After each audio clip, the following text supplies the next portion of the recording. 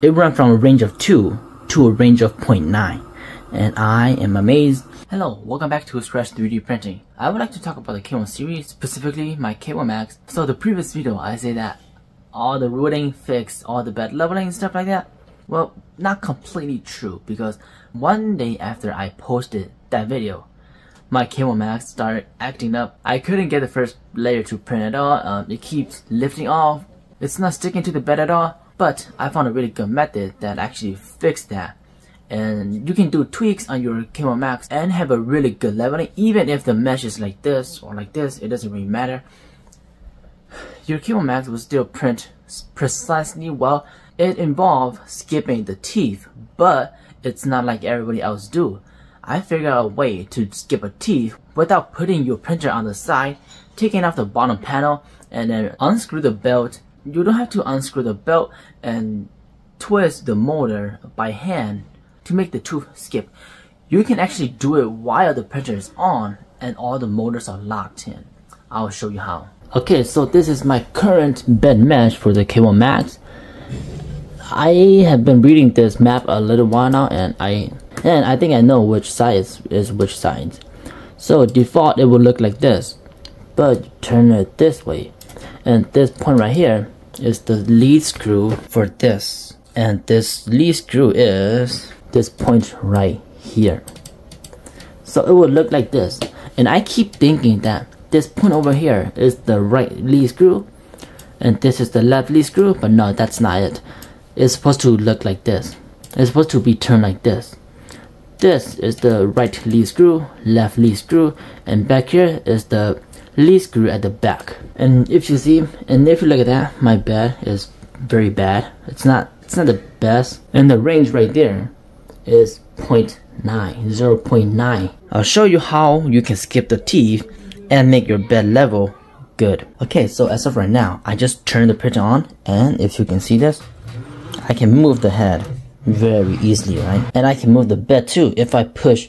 If I give a little force, I can push the bed down, but that's not what you want to do because all of the motors are free. That's why I can move this with ease. So what you want to do first is home your printer. A couple ways you can do is you can do it on the interface right here. Move and temp. You click home here and home here and it will home everything. Or if you rooted your printer, you can just click home all on Fluidd and it will just home everything. So let's just do it on the screen here. That home the X and Y, time to home the Z, the bed. Okay, so everything has been home. The bed and the nozzle has been home. I cannot push the head at all. Just a sound, you can tell that the motors are engaged. So at this point, if you rooted your printer, and you do the bed leveling, you will be able to see your bed mesh. And for those of you that have unrooted printer, I'll show you how you can get access to your bed mesh like this. So you just open up any browser, Google Chrome, Firefox, anything, Microsoft Edge. You just you just need to open any browser and put in your printer's IP address. You can find your printer's IP address by going to setting on your touch screen, then click on network and you will see your printer's IP address right in the printer itself. Okay, I'll be putting the printer's IP address right into the browser. It's this one. So you just do that. Now you can see your printer's interface right here. So at this point, you just scroll down and there is your bed mesh also. You cannot see your bed mesh on Creality Print. Okay, I lower my bed a little bit so that I can have some room to work with. Now, if you look at the two front lead screw, you can see at the bottom there, you can see this bottom part right here. I'm gonna lower it a little bit. Just keep doing it. Until you see these two tiny screws that are in a way that you can move them. Now you take your allen wrench that comes with the printer and I believe it's the second smallest one right here. So what you do now is you find these two screws right? And then you put your Allen wrench in the screw and now you can actually move your lead screw pretty easily. If you see that if you see that I can move it pretty easily. If you try to hand move it you can't do that. So that's why people keep saying that you need to tilt your printer over take off the bottom panel untension the belt and then you can do it by hand. But this method you don't have to do that. And I watch a couple of videos. When they do that, they twist this up or down. There's like a clunking sound, like a clunk, like that. And then that's skipping one teeth. But this method, you can do that easily without taking anything off. You just put your Allen wrench here and then just twist whichever way you want to. So if you twist it to the right like this, it's gonna go down. Twist it to the left, it's gonna go up. You just twist, keep doing that till you hear a clunking noise. I don't want to do it because I have been doing this thing for like a whole day.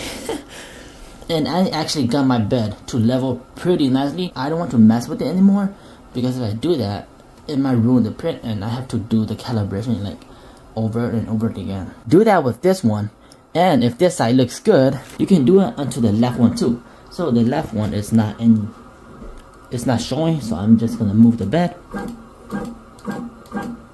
There, there we go. It is showing right now, so I can have access to it like this. And I can twist it this way or twist it this way.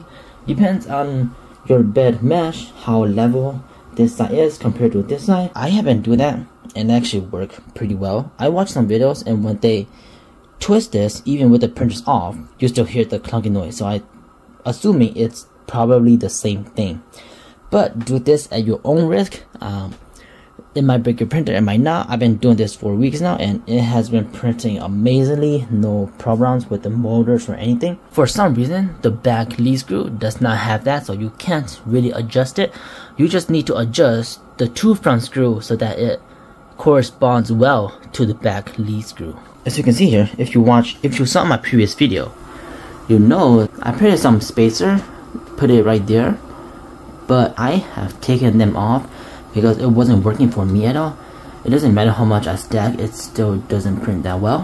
What I noticed is that if you look closely here, you see that there's a cutout, a circle cutout. You can move this build plate back and forth like this. On the other side, this cutout is going from left to right on the right side is going back and forth on the left side is going left and right so you can adjust that by taking off these two screws and then twisting this thing a little bit making that however adjust that however you want.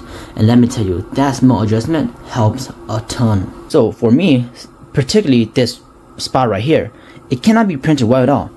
And I recently take this off. I push my bed towards this way and push this um, push this plastic piece together. So meshing both of them together and the back over there is raised up so high and this part is way down. It's almost two millimeters difference. And so then I took these two screws off and then separated these two apart. As you can see there's a gap behind here. This thing is all the way towards the front. It's not towards the back. So I separated these two, pushing the bed as far back as I can and pushing this as far back as I can. And then I lock in the two screw and my bed mesh, this thing has raised up. The back has raised down and both of them are almost at level without doing much modification to it. I don't have to print a spacer. I don't have to take the printer apart. That is really, really good. And that is how I made my K1 Max bed level and it has printed amazingly. The first layer has printed flawlessly. I have not adjusted this side. The only side I adjust is this. The lead screw, right, the right lead screw, the left lead screw by doing the tricks here, putting your Allen wrench here and then twisting it so that it will skip a teeth. But for the safety, make sure you keep track of which way you turn. Make sure you keep track that you turn your left screw your left lead screw to the right once. So if anything happens, you can always turn it back the other way so that it so that it goes back to normal. And like I said, even though my bed mesh here is not the best looking, it prints nicely. All the lead screw are in sync. It goes, the bed moves down when it gets here, the bed moves up when it gets to this point, and it just prints amazingly just by adjusting those teeny tiny little thing and let me tell you it helps a ton especially this small movement right here it runs from a range of 2 to a range of 0.9 and I am amazed okay that is pretty much it of what I have been doing with the K1 Max bed leveling that is pretty much it how I level my K1 Max by doing those tricks I hope you find this video helpful Like I said, do it at your own risk. If you don't want to do this method, you can take off the bottom panel and then adjust it by hand or you can just do this method. It's quicker, it's easier, and it works like the same. That is it for this video. And as always, you know what? I'm I'm gonna change this. I'm gonna start saying keep on 3D printing.